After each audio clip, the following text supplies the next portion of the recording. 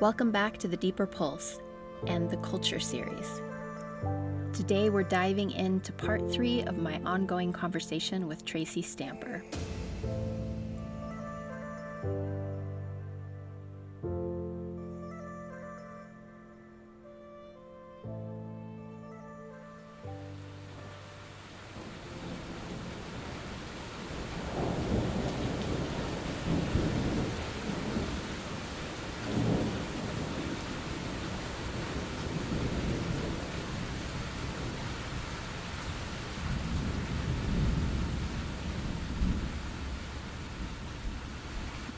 The footage you hear is from this afternoon's rainstorm, which is currently happening just outside my door.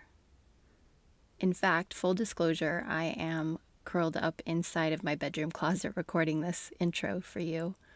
It's monsoon season in the high desert, and nearly every day afternoon rains seem to come out of nowhere. I'm telling you this because it is possible that the sound will break through and you'll hear nature doing its thing just outside my door. A few days ago, life got hard and I was having all the feels, which is really just a fancy way of saying that I was a white hot mess of emotion. And so I decided to opt out of my afternoon to do list and I climbed in my car and drove to the community pool to take a swim. As soon as my body hit the water, my face started to melt. I floated on my back for a while as tears spilled down my cheeks and into the still waters. A few minutes later, while lying in the sun, I peeked out at the world from underneath my visor. A lizard scrambled across a rock nearby.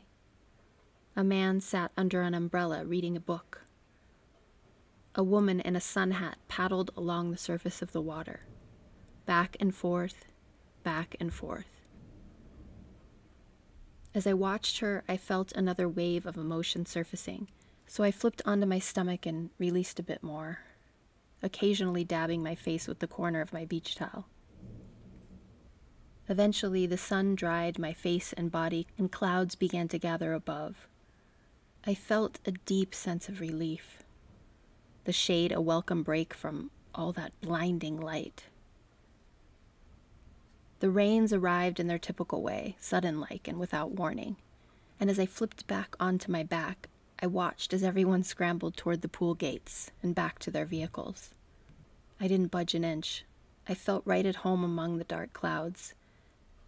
I just sat and watched as tiny droplets of rain pelted the surface of the water, each one haloing itself outward. Soon the rain was cold against my warm skin, and I celebrated the comfort I felt resting there in the muted light. I'm not really entirely sure why I'm sharing that story with you. Possibly because of the rains outside, and also to give you a sense of what it was like to navigate the past week, which I found incredibly humbling. Now, I won't pretend to be surprised by this. I am continually working on uncovering my blind spots, and creating a series like this one is itself the perfect storm, as I talk and presume to understand things I'm still learning. So, smack dab in the middle of a well researched rollout on the intricacies of interpersonal social dynamics, this week I found myself struggling in some very familiar ways, grappling with the same well worn questions. Where am I out of sync with the cultures that I currently occupy, and is it really okay for me to speak my mind openly? Do I have the courage to no longer enter or to step away from groupthink ideologies that I no longer resonate with. In this well edited series of podcasts, it's possible that you might develop the preconception that I no longer fall into the same traps of self abandonment. But you would be mistaken. Speaking hard truths and disappointing others, for me, this is the hardest thing. Now, how this usually shows up is I keep my divergent opinions to myself going along in order to get along until the discomfort grows and I feel as though I might soon explode.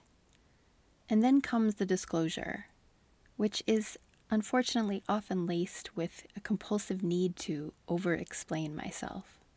Now, this is not really a good look on anyone, but particularly on me, because most of the time, explaining myself usually just means too many words and me making more of a mess of things. And I just recently realized that part of the problem is that when I know in my bones the next hard thing I must do, oftentimes I don't yet have a clear understanding as to why I need to do it. Why is it that this feels good and that doesn't? What makes one group identity feel comfortable and another one ill fitting? Oftentimes, when I have a decision to make about my relationships or the communities that I reside in, I don't really know why one thing is working and another isn't.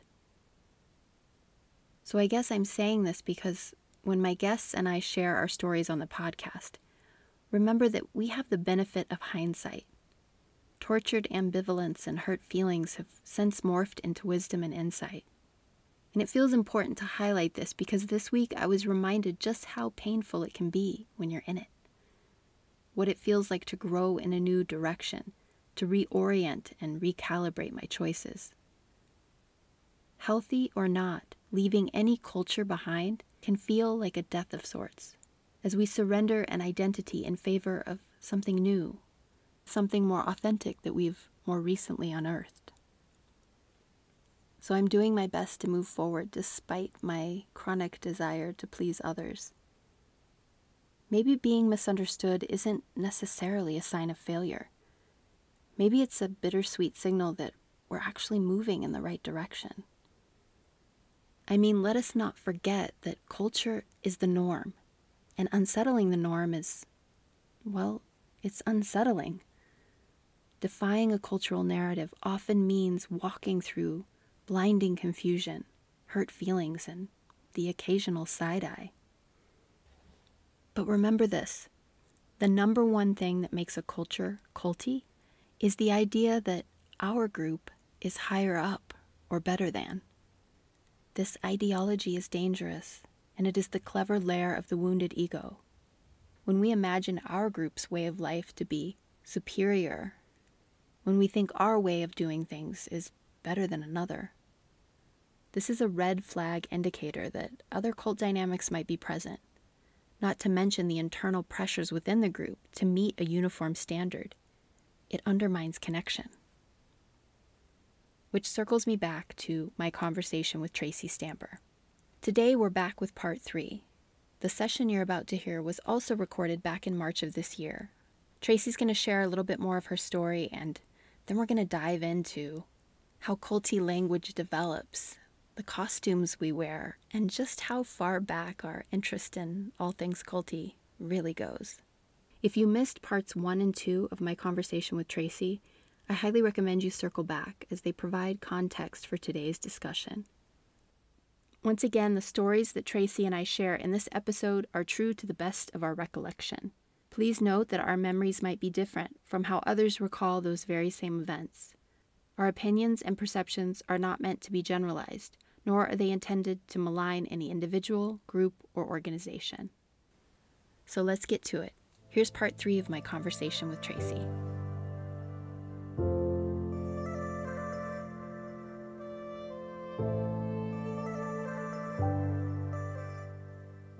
Hi, I am so sorry that I just couldn't get my shit together this morning. Oh, God, it's fine. Yeah, I was able to crank out a a little bit of something I needed to do anyway. So it worked Good. out perfect. Good. As these things do. I'm so glad we're back doing this. I am too. It's so wild that we spent so much time together that first time. And I felt like, wow, we, I won't say hardly scratched the surface, but we just got to the surface. Yeah. and there's just so much to share. And so I can't thank you enough for being willing to dive down this rabbit hole with me. Like, genuinely, it is like that, isn't it?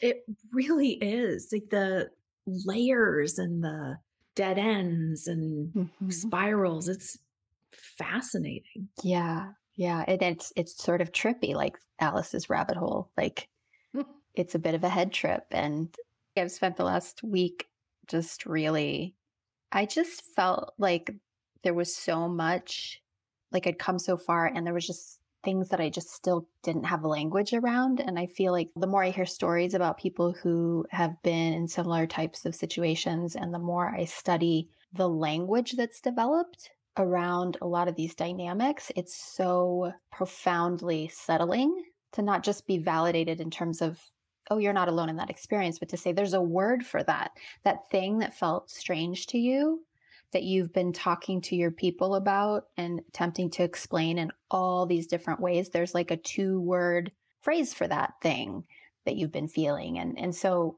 I've been listening to a lot of, of podcast episodes and reading Amanda Montell's book, Cultish, is brilliant. It's such a great book too, because she's got this like really sort of irreverent, punchy sense of humor. And what I love about the book specifically is that it's not just about extreme religious cults it's about everyday cults. There's chapters on MLMs and just business workings. And there's a section on the cult fitness industry, which is fascinating. And now it's like, oh, there's just this really clear, distinct language as we're having these conversations. We can actually say, oh, wait, there's a word for that. We're actually sharing something yeah. that is a real thing that because yes. we've been conditioned to think that we're inventing based on our experience and that our inventions aren't useful or real, to be able to look at the work that's been done over decades of research and say, this is very real. This is a phenomenon that happens a lot and it's called such and such. Wow. I just exhaled and I just felt like whoosh, the validation, the de gaslighting. Right whatever the opposite the, of gaslighting is. Yeah. Deprogramming, I guess. Deprogramming, that's it. Yeah. I would imagine. I don't know what to call it. Sanity? the restoration of sanity? Ding, ding, ding, ding. Let's call it that. the restoration of sanity. Yeah. You're like, oh, I know what that is, and I know what that is, and I know what that is. That lines up with what I'm feeling inside. This is a very real thing that happens in the psyche and in the body. And when it's acknowledged, that validation is freedom to, to take that power back and to reframe the trauma yeah, in a different way.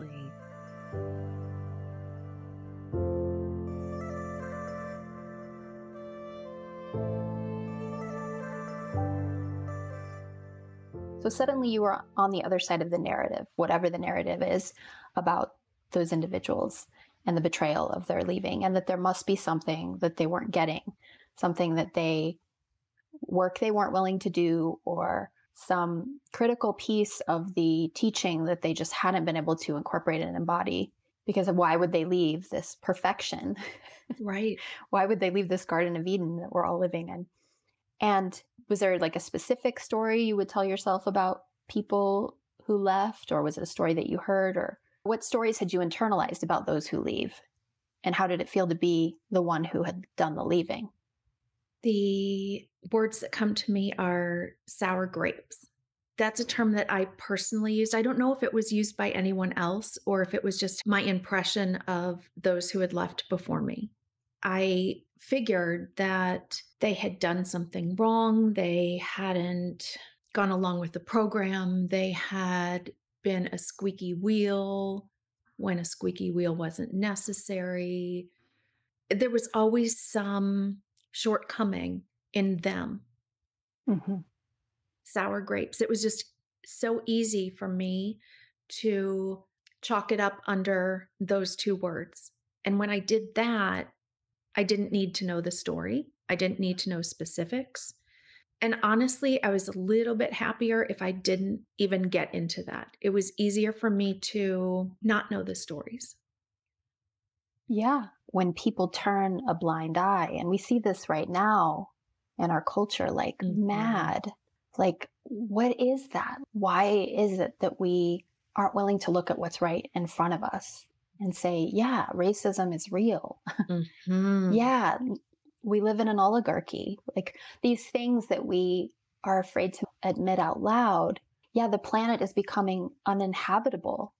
Mm-hmm. Like a big part of it is similar to the reasons why you didn't want to know the details.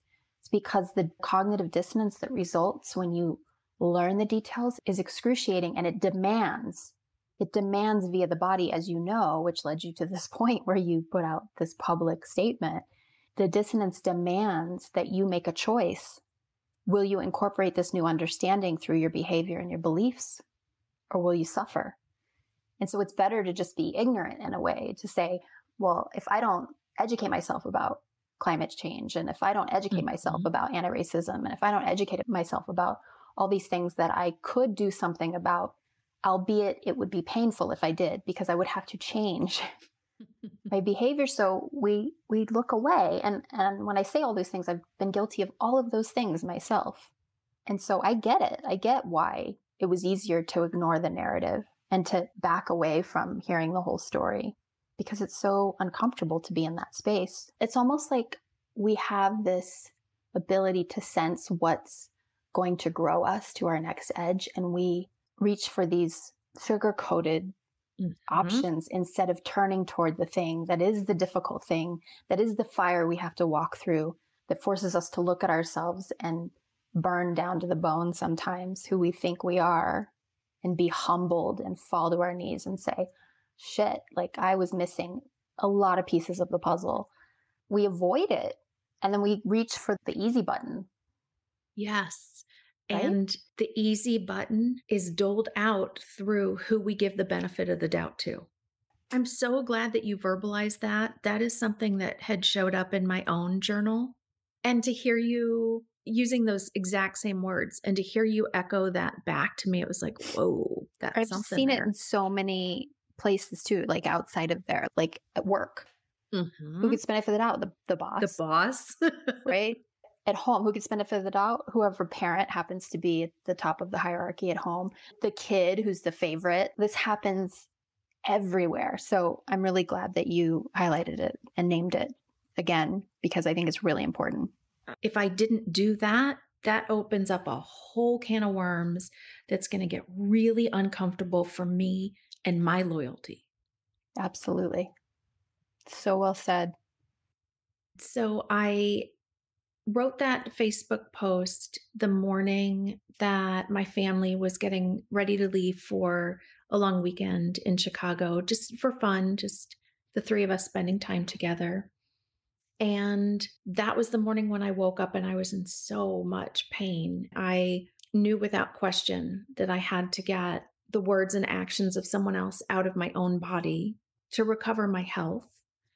And the moment I left the organization, I felt a heightened attention, both internally from me and externally towards me, about anything that I would say or do to explain why I left. Where was this attention coming from on the outside that you felt? Was it coming from the, the organization, the epicenter? Was it coming from your community around you? Was it on social media? Everywhere. all of the above. which which honestly means it was all coming from within me because I had been in the organization and I had watched other people leave. I already had a sense that those people were watched, those people were explained away or judged or shamed in some way or basically made to be the bad guy. Or as you put it so brilliantly, they weren't given the benefit of the doubt. So from the other side, I had seen that happen to so many people. And I had taken part in that. I want to be really clear sure, sure. that I I told myself stories about folks who had left before. In order to stay, you it's sort of what you have to do to justify staying. Absolutely. Right. So I just I knew that leaving was charged. So it it was less about any actual pressure from anyone than it was about what I had seen play out before and how just I felt so raw and vulnerable and cracked open and tender and wounded I felt like anything I said or didn't say would be read into, would be talked about. So the weekend in Chicago did not really turn out to be just a fun weekend, the three of us. mm-hmm. Because Facebook was exploding with really charged comments and yeah. accusations, like not always of me, but other people. And I remember a couple days into the trip, we went out to a really well known deep dish, yummy pizza restaurant. And it was super crowded. It was rush hour Friday.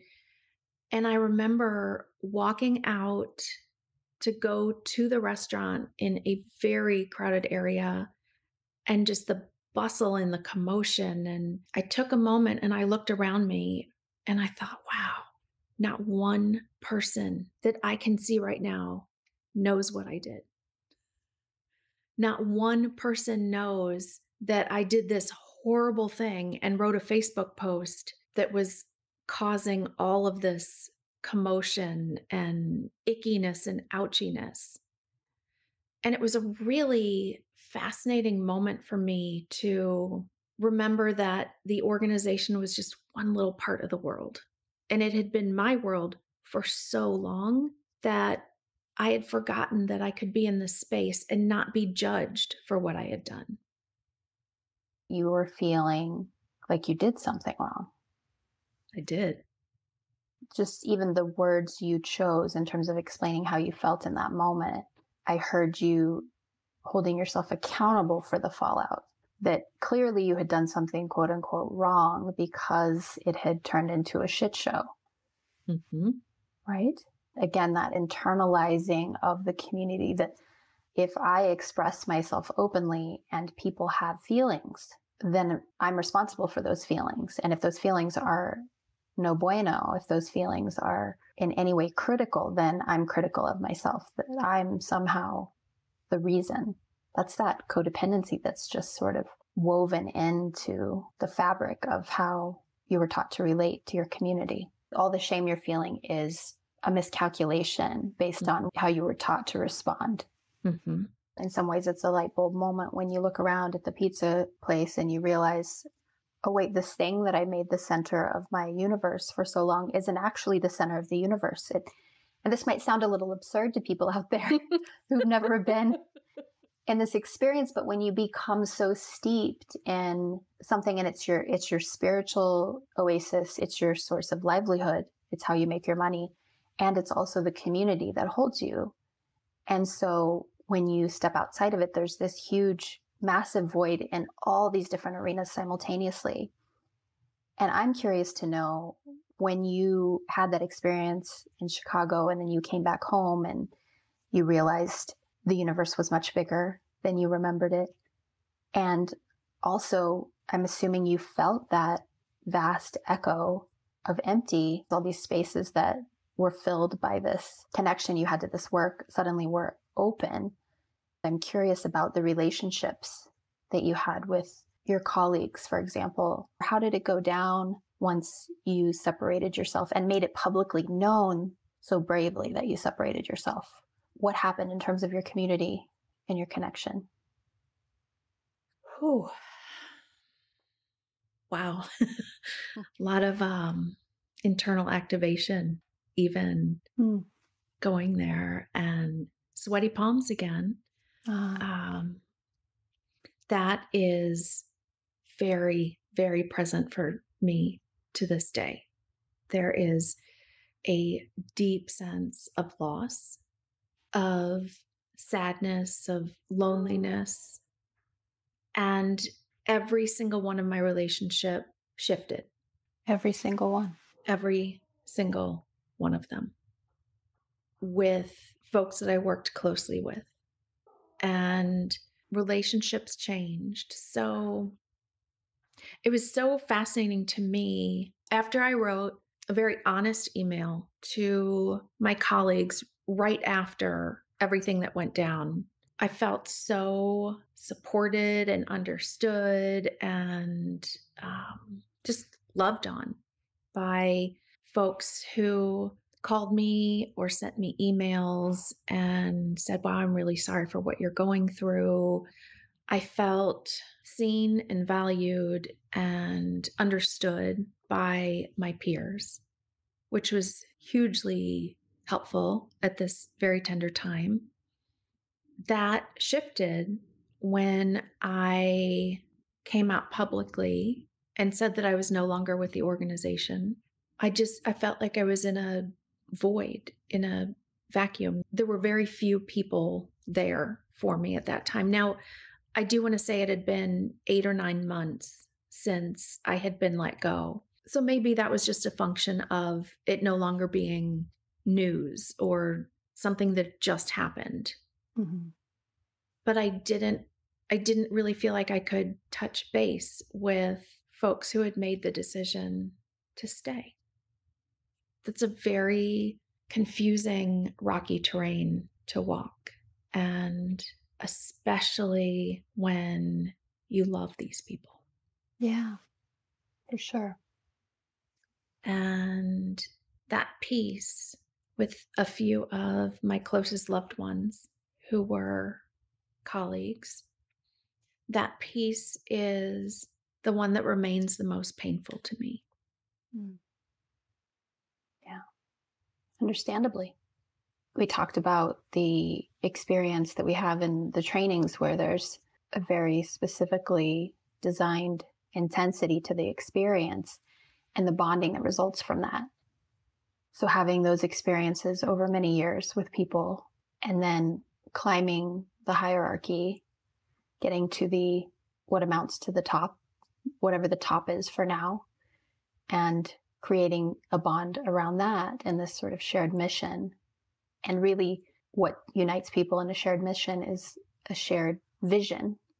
And while you no longer feel that that particular organization is the means to that vision, the vision is something you still share and those heartstrings are still connected. And perhaps what is most tragic and one of the ways we know that the community that we're exiting is leaning in the direction of these indoctrinating and isolating frameworks is that somehow this separation is just something that intuitively both parties know is just part of the deal. Hmm.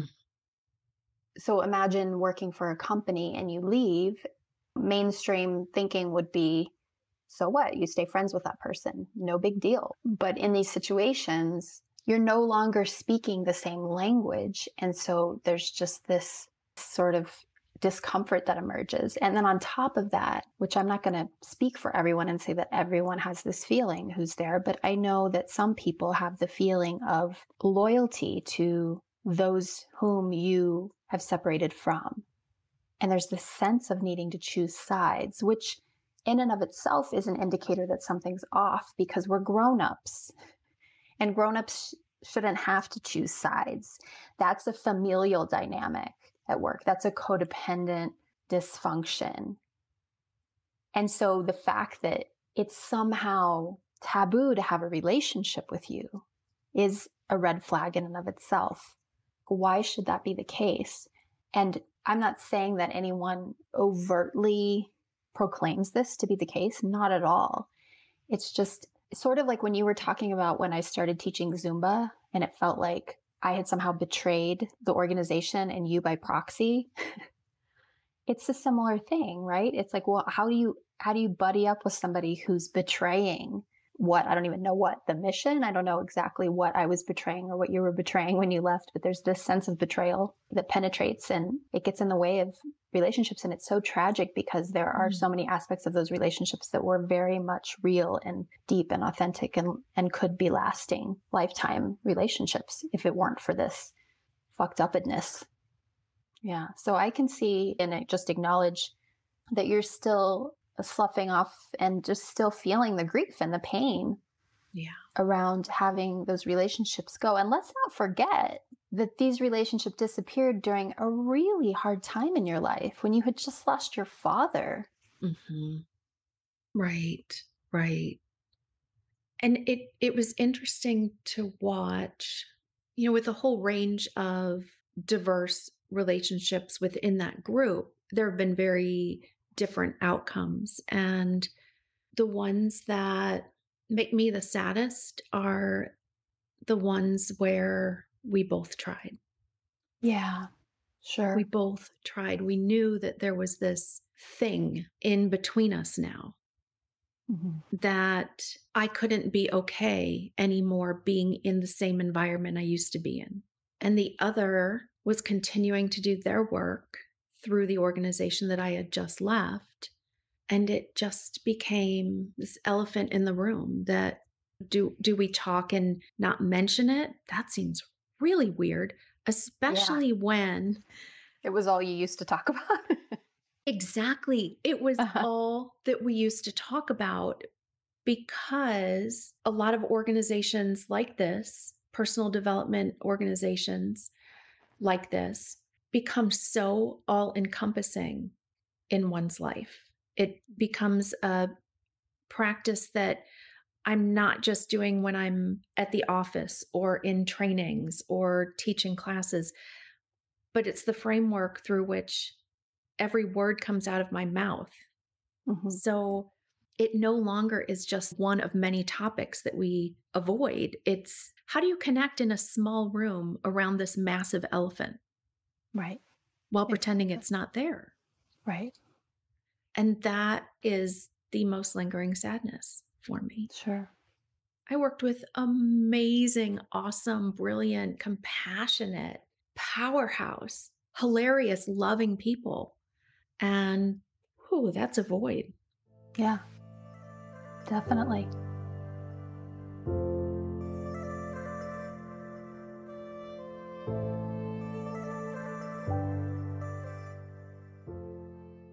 So it did get to the point with my Facebook post and the completely overwhelming response. It was important to me at a certain point to acknowledge wow, this is really spun out of control, which mm-hmm. in and of itself is very interesting to me. Definitely. So, does that post still live? It does. Once a year on your birthday, it pops up. what a gift. What your response truly was a gift. Oh gosh.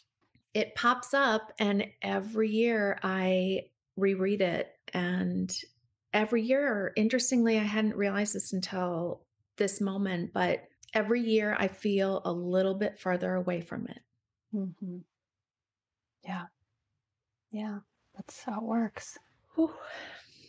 It's like a slow fade. Oh, it's like a nice. slow emotional fade. Yeah. Yeah. That's part of how we know something happened to us. I think that's important to just underscore in general when it comes to like the word trauma gets thrown around a lot these days. Mm-hmm. It's used rather loosely. And in some ways, I think it's a welcome overcorrection because it wasn't used enough for so long. Right. And yet at the same time, because it's used casually, very much like the word cult is used casually. I mean, the word cult is used in advertising all the time.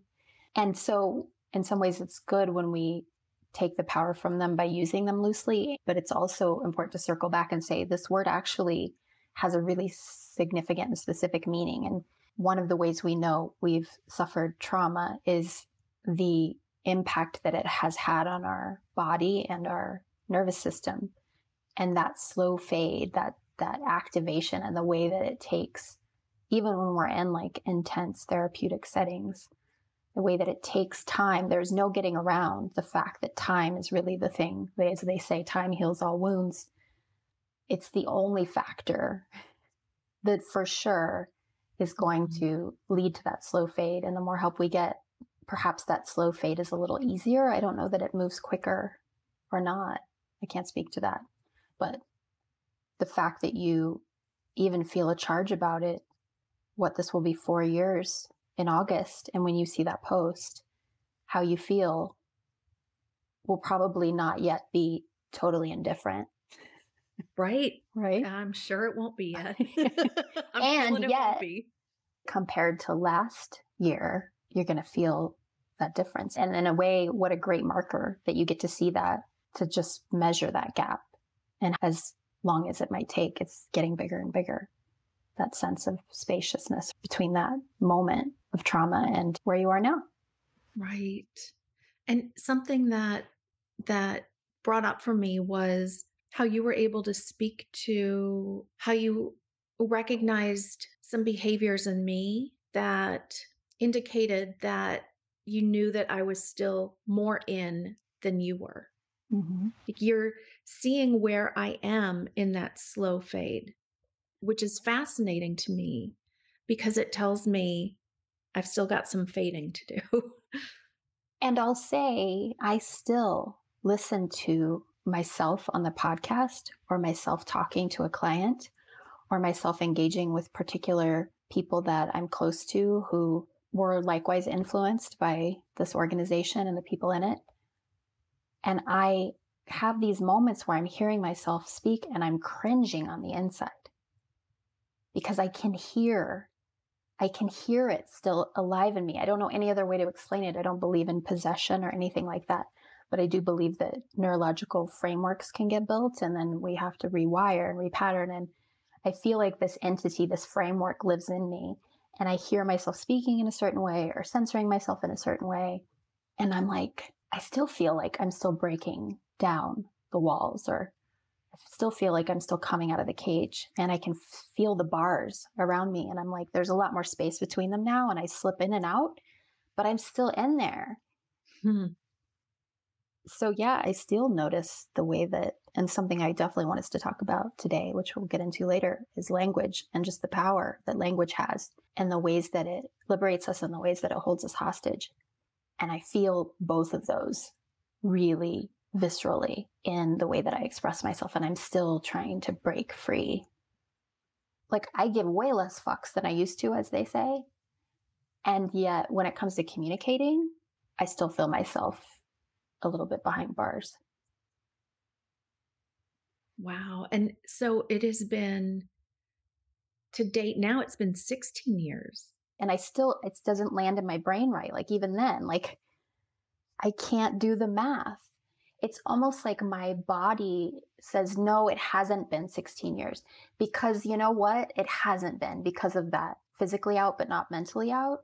Maybe I keep thinking it's 12 years because it took me four years to get to the point where I felt like I was really out.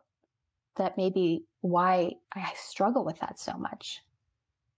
Simple math 16 years. Which, by the way, is the number of years that I taught. Mm. 16 years. Interesting. Mm-hmm. It's a long time. It is a long time. And so, well, yeah, we're speaking specifically about one shared experience we had in a specific organization, but the frameworks exist all over culturally. So it's not a matter of this particular space that we entered into had a monopoly on these things and invented them, like hardly. Mm-hmm they're everywhere. I mean, these dynamics happen in families, they happen in workplaces, they happen in churches, they happen in friendship circles. They happen in all these different arenas. And so we're not just unraveling what happened to us there. It's just what happens to us collectively when we inadvertently succumb to these intrapsychic forces and give away our power. So I think this is a good moment to highlight. Let's remember you've got people on the fringe of these organizations who are just sticking their toe in the water. They're taking a class three times a week. They spend an hour in this maybe transcendental space that helps them become more body aware and delivers all these glorious benefits. And they're hearing the language 60 minutes, three times a week. Then you've got people who are more involved and you've got people who teach the language. Then you've got people who learn every nuance of the language. You've got people who live, eat, and breathe the language. This language becomes an atmosphere and a climate that you operate in, and everything's explained through the language and the teachings. And so this thing that develops is called a closed loop system of logic, which basically keeps people within this loop of logic that is created by the system itself. So everything that happens is passed through these frameworks. There's nowhere else for them to go because it's sort of the guiding philosophy at the center of your life. It's called a closed loop system because it often involves things like thought terminating cliches, little catchphrases that everyone's absorbed that diminish critical thinking, citing of a particular teaching or principle or uh, the cult researcher Amanda Montell calls them psychological sedatives.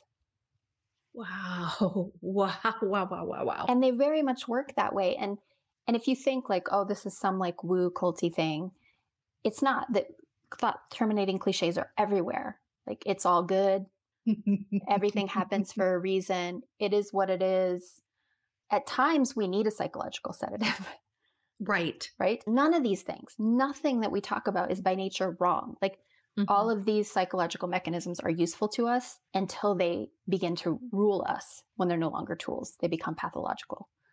So a thought terminating cliche is fine and dandy. We need them. It's a way that we settle ourselves. And there's nothing wrong with that. We need to be able to settle ourselves.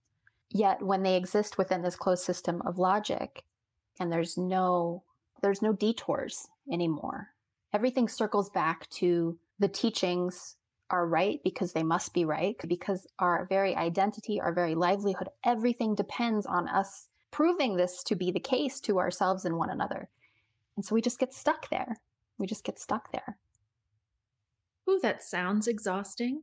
And I happen to know that it is because I did it. it's, exhausting.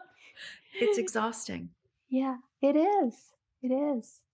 Because some part of our being knows that something's off.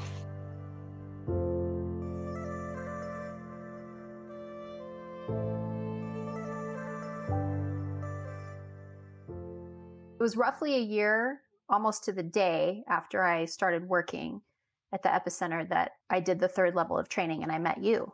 Mm-hmm. I flew to Chicago to do that training.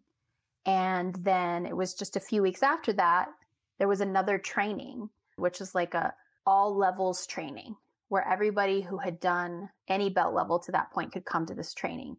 And from a business standpoint, this was a way to make money. The numbers were going down in terms of new recruits. And so they decided to create this event where all the people who were diehards would come together and it worked like a charm. There were a lot of people at this training where all the different levels were invited to come. And one of the teachers who was of the highest level that you could be at in terms of, of training with the organization had been involved with the organization for many years. She had the idea that during the training, we should do a dance performance. She wanted to choreograph a tribute performance for the founders as a gift. Although the training started out as this is an opportunity for all the belts to come together and learn these new skills, it sort of turned into this tribute event for the founders. Mm-hmm. Like we're all coming together to celebrate these two people who have given us so much. So she asked many of us who worked at the organization and who were teachers and stuff to be a part of this dance piece. And I was chosen to be one of the leads. I was playing the eagle and then there was another lead who was a male character, and he was playing the flame. He was essentially representing the male founder, and I was representing the female founder through this dance. I hadn't really considered myself quote unquote a dancer until I started doing this practice. So the fact that I was performing as a dancer was just a really great edge for me to explore. It was fun. And I felt really honored to have been chosen. And so we prepared for many moons. And we, at the end of this training, he did this performance, The Eagle and the Flame. And at the end of it, it's one of my sort of key memories. And I think it's because it was a big red flag moment for me and I didn't fully track it at the time. Like I knew it was a little bit strange that way that we were holding this performance and like the roles that we were playing. It, it felt a little loaded, but sweet. And at the end, I just remember the founders coming forward. They were seated in the front, of course, coming forward in front of everyone and applause breaking out. Everyone standing up and giving them a standing ovation of gratitude for this practice. And I remember the quality of the energy in the room. And I have this vivid memory of staring at the founders while the applause was happening. And something about it creeped me the fuck out. I remember being really conflicted because there was a part of me that was in awe of them. I was like, how would it feel to be able to receive this with so much sponginess? It was just this like, yes, of course. Keep applauding. Applaud as long as you like. Something about it stayed with me and it never left me because I was both in awe and sort of envious of their self assuredness. I was like, wow, that's amazing. And I was also like, huh. The adulation that was coming at them, they didn't flinch. And that troubled me. It troubled me that they were willingly standing on the pedestal without flinching. Do you remember this at all?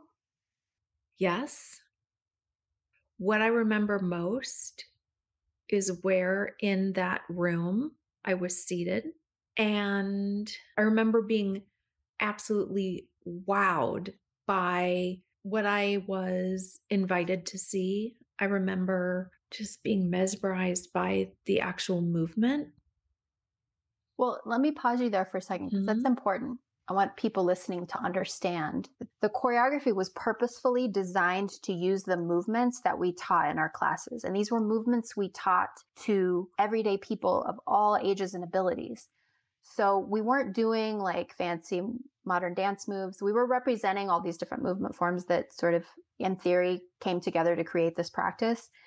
So part of when you say that you were moved by what you were seeing, the average Joe who maybe walked in off the street and watched the performance probably would not have been wowed in any way. But the particular audience that we had created it for was very much mesmerized by it because it was like our bodies were speaking a language that they were fluent in and they recognized the language and they were like, oh, and that was what we were going yes. for. So I just want to qualify your statement to say that my guess is is that you weren't mesmerized by the movement in any way because the quality of the movement was over the top. It was more because of what it symbolized. I was not moved by the choreography per se. I was moved by the movers. I was moved by seeing people who were so immersed in the practice, standing in their power and expressing it. That's what moved me. I remember something very poignant which is so interesting. When I have very specific moments that are so poignant, oftentimes they are connected to that hyper arousal and taking in stimuli. And so it's interesting to me that I remember exactly where I was in the room, however many years later. And I remember something about that evening. By the time I left, I just was both riding a high from being at this amazing event with amazing people and I don't remember specifically the moment that you were talking about where they walked in front. I do remember very, very rowdy, raucous applause. Mm-hmm. And then afterwards feeling a little bit sick. Yeah, it's it's hard to explain like how can you sense the quality of applause? There's just something in the air that's different. It's like if the group is in a trance state, you can feel the spell around you, even if you're in it, you can kind of feel it. And in retrospect, when you come out of it, it becomes more apparent. It's almost like there's a part of us that's always awake, even when we're in the dream. Yeah. If we're lucky, I guess I should say. Wow, yeah. I had not thought about that for many, many years. I find it so fascinating that the only sequential journals that I have from my whole life as somebody who journaled my whole life are those years that I was there. And thank God, because before we were about to do this, I spent days going through them page by page, literally, creating a timeline, capturing the experience, and finding validation in the fact that my body did remember what happened correctly and that the stories that I told myself to justify certain things or to to second guess my recollection were just another way that I was responding to the conditioning that no, this really did happen. So I love that you have the post to go back to and say, no, this is really how it went down and where it went. And yeah, I get that. I get that. I saved all of the comments for the same reason. I have screenshots of them on my phone yeah. so that I can go back if I ever get into that space of wondering, am I overreacting? Was this, did it really happen that way? Or anytime I start to doubt what I actually know, I have that. Yeah. And I can look back and be like, damn. Yeah. damn. Yeah. That happened. Yeah, exactly.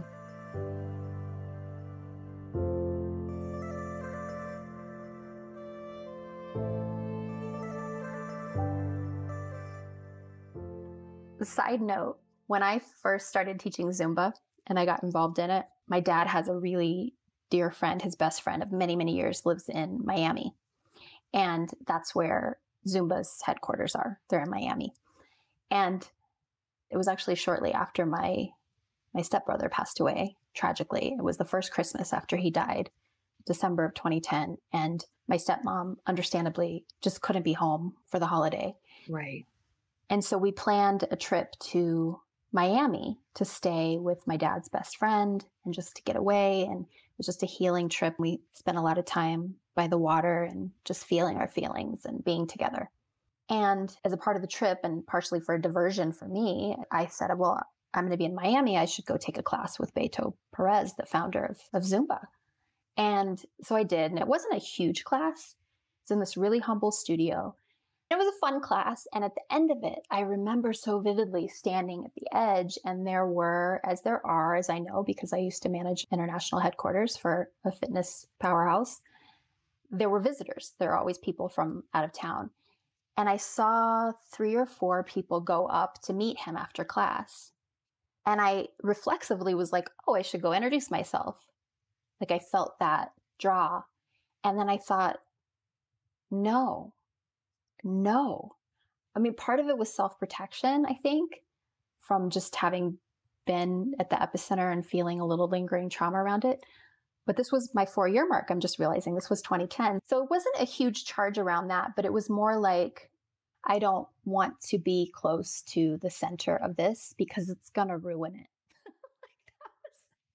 that was my attitude was I don't want to ruin this. I enjoy it because I realized in that moment that being on the fringe was the perfect place to be. I was like not just a student, I was teaching it and that was enough. I didn't need to go any closer. I didn't need to go any further.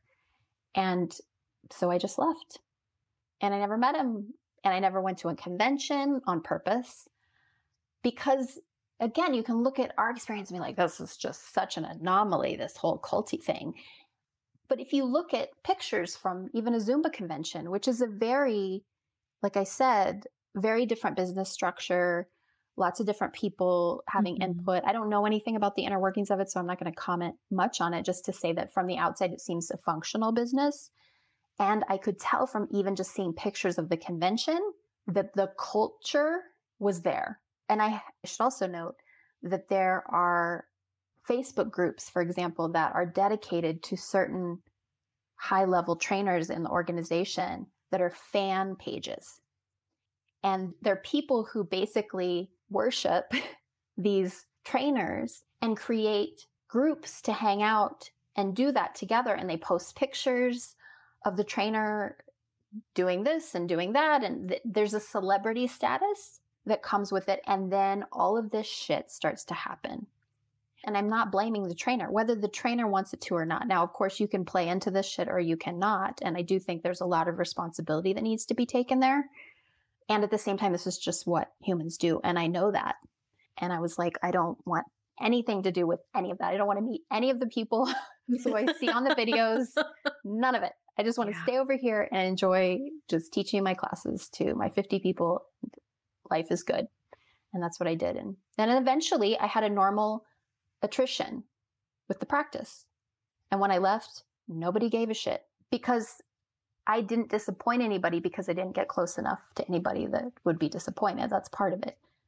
But I had to choose to keep that boundary because I didn't quite honestly trust myself Right. This isn't about me blaming, like, oh, they would have sucked me in, they would have wooed me. No, this is me saying I didn't trust myself to not fall into that trance of groupthink if I went to a convention and start acting like, wow, like this is the center of my universe mm-hmm. when I mm-hmm. knew full well it wasn't. I mean, I was just so on guard after everything that had happened that I felt uncomfortable wearing the logo. Like, if you look at cult fitness, you'll see this a lot I mean, you see it even with yoga practitioners. It's like there's a, a particular costume. I'm going to call it a costume because it's attached to an identity. There's a costume we wear. And there was a time when I started teaching the original practice again, and I taught it back to back to a Zumba class at a club that I taught at. And I would change my clothes. I would change my clothes yeah. because I was a different persona. Yeah a hundred percent. I grew out of it a little bit toward the end of it and I just sort of let it stand and I would put on a hat backwards when I taught Zumba or something just to be sort of spunky. But when I first started, it was almost as though I couldn't step into the energetic of each one. I was still so much a channel for it unconsciously instead of just doing this thing that I liked to do. That I wore the attire that was appropriate to the given practice. And so if you look at videos, like I could go online right now and totally unmarked look at images from a Zumba convention, look at images from a training of the organization we speak of, look at images from a yoga retreat, and I could tell you exactly which one was which. I don't Absolutely. have to know anything. And that's how this stuff happens. And there's, again, there's nothing wrong with the fact that this happens. It's just, do we lose ourselves in it to such a degree that we don't know who we are anymore? And we're like, oh, I have to put this outfit on to show up and teach this class because it's really just a metaphor for this bullshit persona that I'm putting on to show up and do mm-hmm. this thing instead of just being myself. It's crazy. It's interesting when you told that story, when you said that you taught those two classes back to back, I felt just a little bit of panic. Like, what did you have a wardrobe change? How how did you go from that's how do you do that? Uh-huh. I felt that panic. I did. I had a wardrobe change part of it, I should say, I mean, just to give myself a little credit, is I sweat like a banshee when I do anything movement oriented. So I pretty much at the end of any format. You need a wardrobe change. Yeah, I really do. I mean, it's it's really a gift to the next class. They're like, what is happening? This sweaty woman is going to tell us to do what? So it, you know, part of it was purely practical, but I didn't just bring, you know, a different yoga top. I brought my uniform. Uh-huh. Exactly. You brought your like, costume. I brought my costume. Uniform, costume. They both have different connotations, but they both work. Yeah. Yeah. Yeah, they do. Weird. Yeah. They do. weird.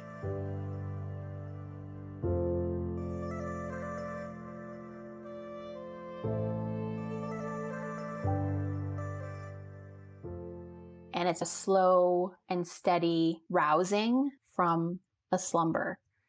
And for me, that slumber started when I was a child and the ways that I dissociated and checked out and took myself out of the equation when it came to whatever was happening in my family and in the world around me. And as the new girl growing up and going to different schools, it was really always about wearing a uniform and a costume in order to make friends, in order to sustain connections, in order to lose them and start over again in order to appease my raging stepfather, who was an alcoholic, that it was just such a theme for me that by the time I reached my 20s, I was already indoctrinated to be susceptible.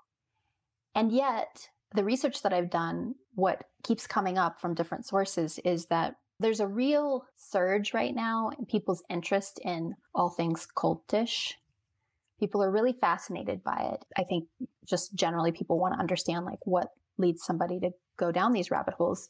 And that interest and that hunger that people have who are not themselves survivors or don't even really know anybody who's been in a situation like that. Why? What's that interest about? What is the draw? People want to know if they're susceptible. They want to understand. Could this happen to me? And then they watch and they purposefully watch because it's what's made because we like to be entertained, they purposefully see things that accelerate to such a point that they can finally exhale and say, oh, no, that would never happen to me. I would never get a brand on my body. I would never drink the Kool Aid. I would never fill in the blank. And so these sensationalized stories validate people into thinking that they would never get involved in a situation that would in some way compromise their sense of autonomy and their sense of agency. But we all, on some level, know that we're susceptible. and that's why we want to watch, right? And I, again, I can't speak to that specifically because I have been in a situation. And so my curiosity is different. But I know a lot of people who are curious about it. And I do think if we look at QAnon or something, it's like people love to freak out about it because it's worth freaking out about, but also mm-hmm. because it's like, oh, there's an example. It's so ridiculous. I would never, I would never, I would never, I would never. People who have been involved in organizations are so judged because people need to judge them in order to justify their sense of safety and their sense of it would never happen to me. And I'm here to say bullshit because it happens so incrementally that you don't even realize it's happening. And so I watch a show like The Vow and I look at Sarah Edmondson, who now has a podcast with her partner Nippy and is so bravely talking about all of this. And I look at her choice. I still get goosebumps all over my body when she was brave enough to expose the abuse and to post a picture of her brand that she got when she was involved in the innermost circles of NXIVM. And the way that she was judged and criticized, and people thought, never. And I saw that and I thought, who knows? Honestly, who knows? It's easy to say, I would never, I would never, but you don't know. You don't know unless you're there. So, anything you want to say about that? How many hours do you have? yes, actually, so many things. First of all, thank you. I just found myself nodding and giving you the thumbs up. And interestingly, right now, I am in the midst of watching the series Secrets of Playboy. It is wild. It's not an easy thing to watch. It's a lot of trigger warnings.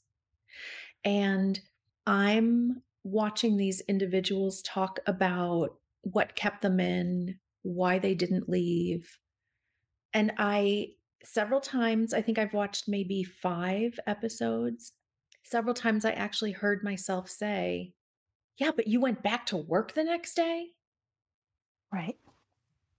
And then I thought, when have I gone back to work the next day? When my innards have been wrestling with each other. Mm-hmm. When I was doing mental gymnastics to to triple axle the cognitive dissonance. Where's your that gold medal? Person. That's what I want to know. Exactly. I probably have earned quite a few at this point. I was I was good at those gymnastics. Yeah. yeah. And it was so fascinating to hear myself. It was almost like I, I was listening to someone else say, Wow, do you think that was a red flag? Or how could she not see that? Mm-hmm.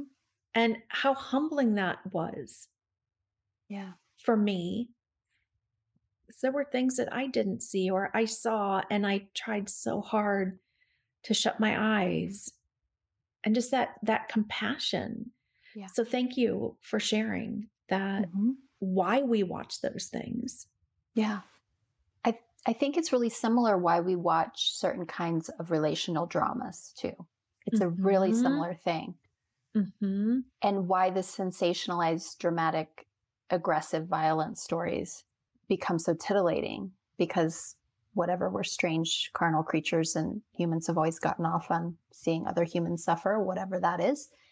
Mm-hmm. But also this sense of whatever concessions I'm making in terms of my sovereignty and my relationship, whatever ways I'm turning a blind eye, whatever shit I'm putting up with pales in comparison to this.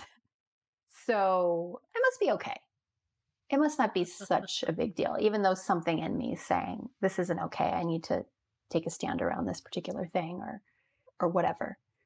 I think part of it is cathartic in a way. And it's maybe one of our ways of unpacking it and understanding it. I know for me, watching these shows, it's like you might, the listener out there might be thinking, why would Tracy put herself through watching the show about the Playboy Mansion? But watching these things for me, watching these documentaries, just really helps me to understand the mechanisms at work inside of me and how they operate and to develop a sense of empathy. Like it helps me develop a sense of empathy, even if I might have judgment right out of the gate. When I come down from that activation and I really ask myself what that's about, there's something for me to see within me that I have to reckon with. And that's helpful. In, again, like you say, being deliberate about it, not like binging it and going into a dark place, but just really being deliberate about how you take it in. Right. I'm curious. Question for you. Were you, did you find yourself drawn to or interested in shows or books about high demand groups before you found yourself in one? Because I did, and I'm curious. Yes, actually. Interesting. Wow. It's so interesting that you say that because I experienced some developmental trauma that made it such that I just don't remember things really well. I don't remember most of my undergraduate college education. I did it five years because I did a double major and an honors thesis. And I don't remember most of my classes and things that happened or anything. the most vivid memory I have of being in a class was a sociology class. And I tell this story in one of the earlier episodes of this podcast.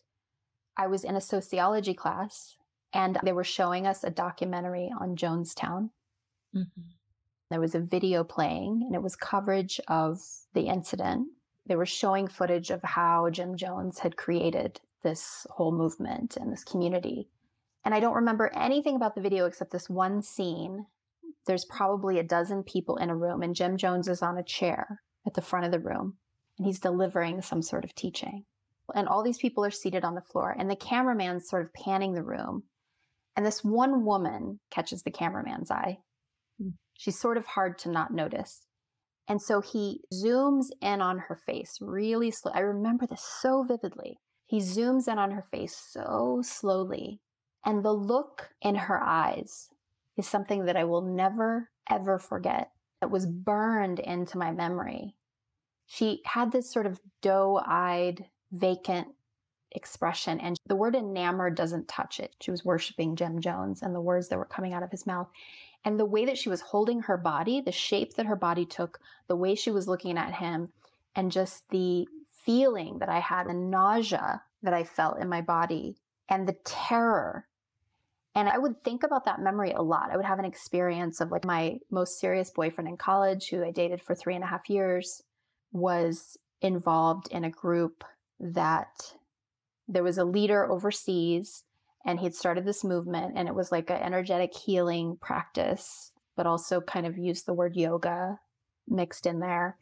And my boyfriend was really involved in this practice and there were all these different levels which is par for the course like all these different levels of training. And as you progress through the different levels you could heal people from greater distances. It was sort of like reiki but on steroids. Mm-hmm. And there were all these trainings and you had to pay thousands of dollars to go to the trainings. And i remember he went to geneva to do this training. He sent me postcards and he he did he was really involved in this organization. A few months after we were dating he sat me down and opened my chakras. And it was just this sort of sometimes hands-on healing sometimes distant healing thing. And i remember being so curious and also having this like tremor inside of like i don't know about this so i never did the trainings but he would teach me little things and and anyway a few years into our relationship, he had done this highest level of training. And something that happens, as we all know in these organizations, when the leader of a movement begins to lose power in some way, they invent a more alarming narrative.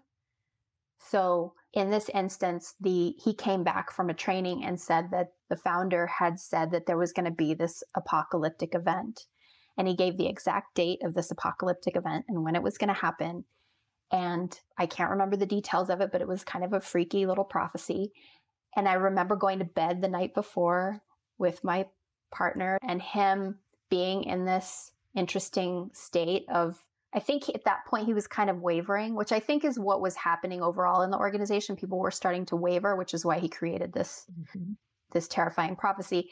And so he was really experiencing some major cognitive dissonance at this point because I think some part of him was already on his way out, but another part of him was afraid that he, this thing might happen. We woke up the morning that the cataclysmic event was supposed to happen. And I think there was something related to weather patterns because it actually coincidentally happened to be a really overcast day. And so we woke up and it was kind of like this eerie, spooky, oh my gosh, like maybe he's right thing. And I just, I guess I'm sharing this story because I feel like for so much of my life I was sort of riding that edge because I was sort of nervous too. Like, well, what if this guy's right? Like, I was susceptible enough to be watching the sky all day that day, mm-hmm. just in case. And then when it didn't happen, I wasn't surprised. And then my partner, I remember he went through a period of grief, and that was when he inevitably left the organization and extricated himself because of where we were in terms of our emotional maturity, we never really talked about it. And I'm curious to this day, like what that was actually like for him because he just sort of casually stopped doing it. And I know it wasn't that simple. It couldn't have been. Right. Yeah. So this is a very long answer to your question, but to say that yes, I've always been fascinated and somehow on the fringe of these types of experiences. One answer to your question is I studied psychology for God's sakes. And anytime there was talk about trance states or indoctrination or susceptibility to that, it was always so interesting. And I think what's frustrating to me, which I hope is changing now in terms of education in those arenas, is that there was always only talk of these extreme groups. So there wasn't an education around even in our psychology classes we didn't really talk about like how does this happen exactly this indoctrination? Like what is the process and how do people get in? It was very much we were always looking at the outcome and then trying to explain how do people end up you know in a mass suicide when that's not the real question we need to be asking. Like we need to go back a few paces and say like how does somebody slowly incrementally over time get to the point where they succumb to that kind of influence and in graduate level courses there's discussion of that but i do think it would be behoove us in a psych 101 program to educate people about some of this stuff because i had a degree in psychology mm. and i got involved with more than one organization that i lost myself in so something something doesn't add up there right Wow, that is fascinating. And that's something that I've really paid attention to is when you ask someone what cults they know about, it is always going to be the most extreme. Yep. It's going to be the branding, it's going to be the sex slaves, it's going to be the Martians, the mass the suicide. Yeah. It's going to, yeah. And as long as I am looking at those examples, I'm always going to measure up as doing pretty well. well, relative to that, of course, what I'm right. in a cult. Yeah. Exactly. And that's, I really got tripped up there when it became difficult to acknowledge what I was seeing for what it was because there were only examples that were extreme. Exactly, which is why we're doing this. Mm-hmm. Aside from our own selfish desire to have this process of healing with one another. Why are we sharing it publicly? Is because we need more people talking about these everyday examples. And there are people, cult educators out there that are talking about these things now, but it's not showing up in the mainstream. It's people who have already survived a situation who go seeking information and then you find, oh, this was all here. this was all available all along. And so how do we bring this to the forefront? And if we can stop getting stuck in this push pull of the word cult, it means so many things depending on who you ask. And there's this sort of looseness with it in terms of popular vernacular and how it's used. But then there's this extremism. It's like we think of only fundamentalist cults, I guess. It's sort of like the if the word religion, there's the word religion, and then you've got fundamentalism. Like the word cult sort of gets pushed in this fundamentalism category where these extreme things happen. And we don't have a word. There really isn't a word for what we're talking about. You know, we use high demand groups is sometimes thrown around, but I've listened to so many podcasts and read so many books now. And I haven't heard one person create a word that really describes this less dramatic experience of indoctrination and mm-hmm. how it actually penetrates every aspect of our culture. And there's even cults of one. If you look at wow. a codependent relationship, that's a cult of one. Like these dynamic, if everyone can just loosen their grip on the word cult and what it means and just get curious about the dynamics, they're everywhere. This isn't about easily fitting things into categories so you can feel safe. This is not what this is about. It's about acknowledging how we're all susceptible and we all participate in these psychological mechanisms. They're working all the time. Mm-hmm. Yeah. So, yes, I was definitely interested in all of this. We would need a little more expert support for us to really figure out why we would both be interested in this thing and then end up getting engaged in it in sort of a measurable way. And it makes me wonder if I'm just going to guess, I'm going to say two things. I'm going to say part of it was because I grew up in a home that was, my mother was Protestant, my stepdad was atheist. And there was no spiritual or religious framework. And there was no, um, aside from my stepdad getting drunk and passing out on the couch, there was no altered states going on. Like, um, what am I trying to say? Like, there was no magic in the mm. world that I grew up in. there was no magic. And, and I use the word magic not in a pejorative way or even a descriptive way, but in a mystical way. Like there was nothing mystical about my life growing up. I would go to church with friends when I would visit on sleepovers, and I was always spellbound and highly confused by the whole experience. I found it so fascinating, this trance that everyone in the room would be in, that I would be on the margins of and not have any understanding of. And a part of me yearned to feel that. And there was another part of me that, because I didn't believe the story they were telling, couldn't.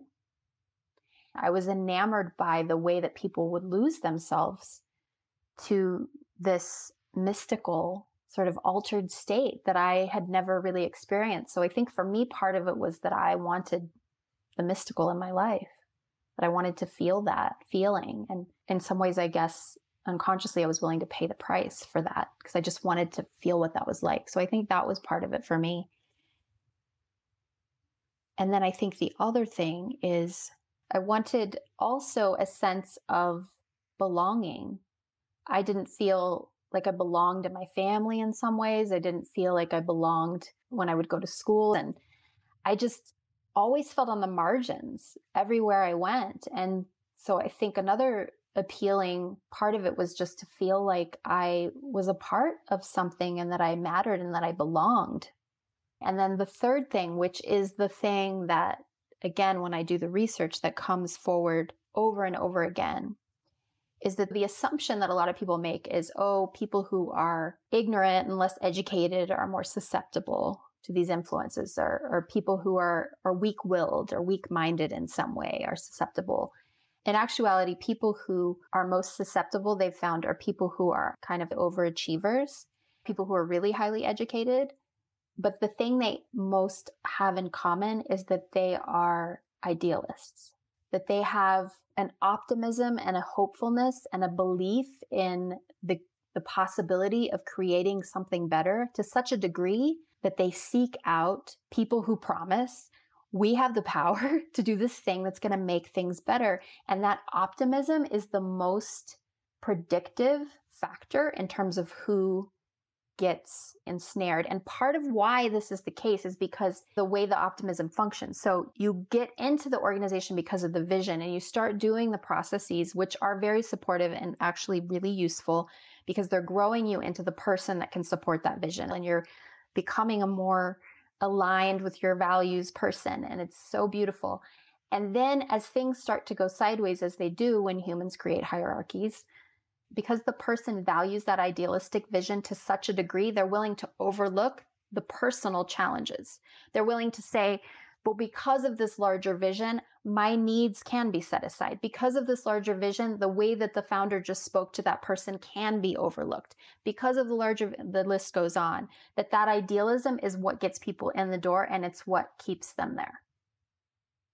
And when I heard that, I was like, ding, ding, fucking ding that is me. So I think all of those three, I said two initially, but those are the three things that pulled me in the door.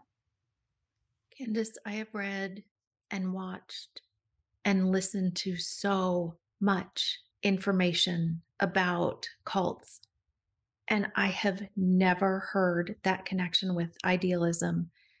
And wow, does that, I feel like you just handed me a piece to a jigsaw puzzle that I couldn't quite put together. That is profound. Thank you.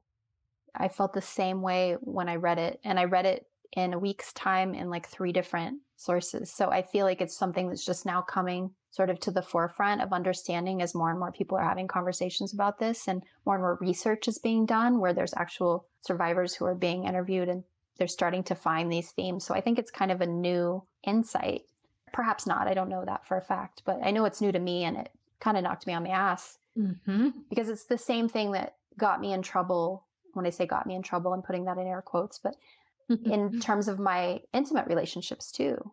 Like I suffered so many ridiculous dysfunctional dynamics because of that same idealism when it came to romantic love. So whether it's love of a country, if you look at a QAnon follower, or love mm-hmm. of a a worldview when you look at people who are in organizations that are going to change the world and enlighten humanity, or whether it's I believe that this relationship that I'm in has the potential to be something that it's not. You stay. You just stay. If you have that belief, you stay in it because the belief transcends the limitations that you're experiencing and it transcends your discomfort, sadly. It's big. Ooh. So you said that you were also interested in these types of things before all of this happened. Absolutely. There was no magic in the way I grew up, and I never fit in. I was, I am highly sensitive, empath, left leaning liberal. Mm-hmm. And I was in a very, very different environment. Mm-hmm. And I felt so alone. I didn't realize until I was well into my adulthood that there's a whole world of people who think like me and feel like me and share the same worldview or similar worldviews as I do. But that's not the world that I was plunked into as an infant. So mm-hmm. I always felt, you know, what is wrong with me? Why can't these things roll off my back like they do everyone else? I was just very different. So that sense of belonging is huge. Yeah. Huge. And also, as a child, I lost my mom. She passed when I was five years old. So even that sense of belonging in the world. Yeah. Was something that I struggled with as a child. Hmm. With a history of childhood trauma, those high intensity environments may have felt like waters I had been swimming in before. Mm. Right? There Absolutely. may have been a fucked up sense of comfort. Now you're knocking me on my ass. Yeah. Right? Yeah. So that's what I'm saying when I'm that's saying huge. to people, I feel like I'm beating everyone out there over the head with it, but it's like these dynamics have nothing to do with cults, really. Mm-hmm they have everything to do with how we are wired and how conscious we can become about these patterns of thinking and the impact they end up having on our choices and what we are willing to overlook and suffer according to some vision that we, God love us, are just completely willing to sacrifice ourselves to. And I think that's what's so heartbreaking and beautiful to me, both heartbreaking and beautiful to me, mm-hmm. being on the other side of this or still waking up of course, moving through this is actually, it's not the idealism that sets us free. It's our humanity. And that the belonging that I wanted isn't about Tracy's ideal self and my ideal self showing up and having a conversation. It's about taking the costumes off. And then it's like, oh, oh, this is a totally different sensation of belonging where I can hmm. relax. Mm and I don't have to try so hard and I'm just accepted. It's not about creating utopia. It's about being able to find peace. Peace. Where we are. Peace. Yeah. Even as there's a war raging, even as I feel in my body close to tears, thinking about what's going on in Ukraine and doing what I can with the little resources I have to assist and understanding that there's a lot that I can't do. In many ways, there's nothing that I can do. And yet, can I find peace and stay engaged in that? It's a both and endeavor instead of this, like, what will we do to erase and eradicate suffering forever? Like, it's not going to fucking happen. It's not going to fucking happen. And us suffering in order to eradicate suffering that's never going to be eradicated is about the most absurd closed loop system of logic I've ever heard. Mm-hmm.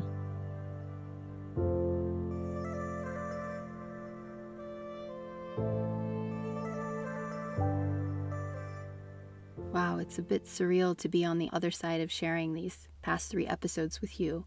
Tracy and I recorded this content nearly six months ago when we still weren't even sure if we would be sharing these stories with you. Next week, Tracy and I will be reuniting in real time to discuss what it's been like sharing such personal stories so publicly. We'll speak a bit more about the overarching themes we've uncovered and do our best to answer some of the questions we've received from listeners and former colleagues. And then we'll talk a bit about where the culture series will be headed next, especially as I now have plans to carry this series into the fall season. We have loads more to share with you, and I hope you'll join us next time.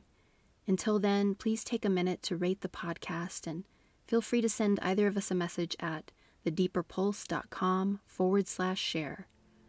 Keep on moving toward what moves you, and we'll see you next time. Ciao.